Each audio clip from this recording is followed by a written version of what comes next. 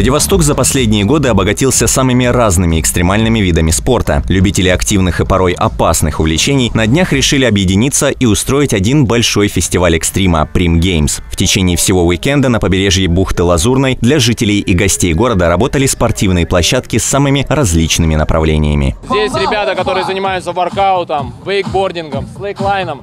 И все площадки, они построены непосредственно ребятами, потому что они занимаясь этими направлениями, становятся специалистами, в том числе в плане инфраструктуры. Он сделан приморскими же ребятами, да, для самих приморцев. На нескольких сотнях квадратных метров раскинулись сразу 9 секций, на которых можно было увидеть выступления профессионалов и мастер-классы для новичков. Попробовать себя в необычных видах спорта мог любой желающий. Экстремальные секторы были разбавлены и более гуманными дисциплинами, вроде пляжного волейбола или фрисби. Одной из самых заметных точек стал участок для слэклайна. Необычное занятие, в котором необходимо чувство баланса, заинтересовало и детей, и взрослых. Пять слэков, они немножко разной высоты и длины, и это обучающие слэки, то есть все желающие могут попробовать свои силы ну, в этом спорте.